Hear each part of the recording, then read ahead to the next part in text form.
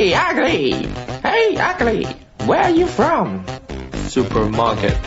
Faraway place. Ha ha ha. Yeah, what? I just come out of a vending machine downstairs. How long time you stay there? Two weeks. Nobody picked me until now. You look ugly. That guy picked me from the old folks home.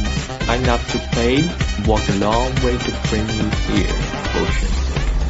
What a shame. Here's my story. A young man took his credit card to open the fridge, take me out, close the door, and walk right back. How about that? Cool. Cool. Yeah, eat him when he's fresh.